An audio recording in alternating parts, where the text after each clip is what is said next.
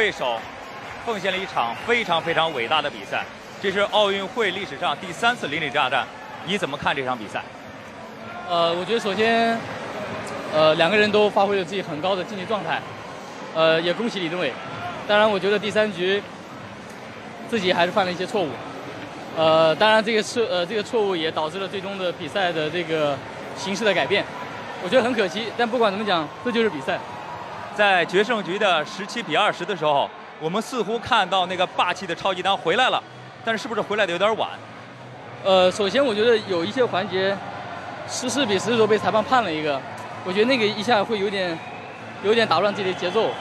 呃，好不容易追到平分的时候，有两个致命的一个失误，无谓的，很无谓的。呃，李宗伟并没有很压迫性的给我一些威呃呃呃压力，自己自己的一些失误，所以我觉得有些可惜。在比赛结束之后，两个人交换了一个球衣，我相信这是一种不同的情感。呃，我觉得就像很多人讲的，也许也许是最后一届奥运会的比赛的两个人的碰面，但我觉得不管怎么样，两个人能发挥这样的一个竞技水平，我觉得至少也对得起彼此，也对得起来今天给我们加油的球迷。对，对于这场比赛，这场非常重要的半决赛，你想做怎样一个总结吗？